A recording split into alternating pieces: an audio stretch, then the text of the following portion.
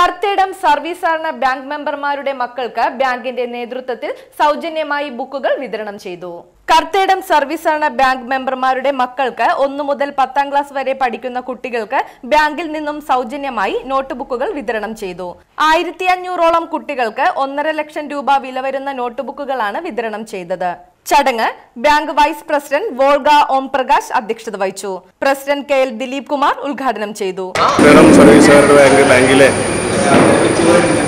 അംഗങ്ങളായവരുടെ മക്കൾക്ക് സൗജന്യമായി പുസ്തകങ്ങൾ വിതരണം ചെയ്യുന്ന പദ്ധതിയാണെന്നിവിടെ ഉദ്ഘാടനം ചെയ്യപ്പെട്ടിട്ടുള്ളത്.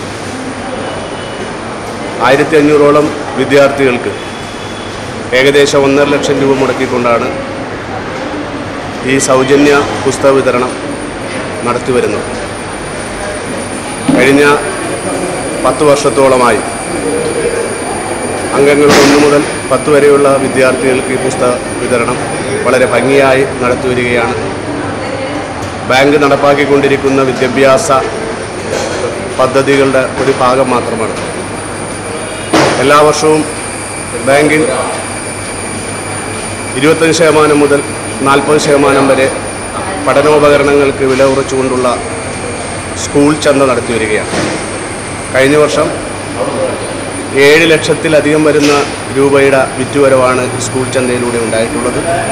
ഈ വർഷവും അതിൽ കൂടുതൽ തുകയ്ക്കുള്ള പുസ്തകം പഠനോപകരണങ്ങൾ ഇരുപത്തഞ്ച് ശതമാനം മുതൽ നാൽപ്പത് ശതമാനം വരെ വിലക്കുറവിൽ എല്ലാവർക്കും പൊതുജനങ്ങൾക്ക് വിൽക്കുവാൻ കഴിയുമെന്നുള്ള പ്രതീക്ഷയോടെയാണ് സ്കൂൾ ചന്ത ആരംഭിച്ചിട്ടുള്ളത്.